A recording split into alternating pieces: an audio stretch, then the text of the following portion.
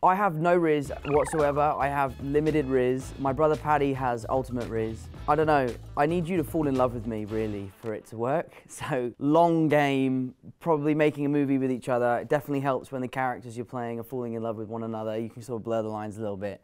That's kind of where my rizz is at. And I'm, you know, I'm locked up, so I'm happy and in love, so I've got no need for rizz.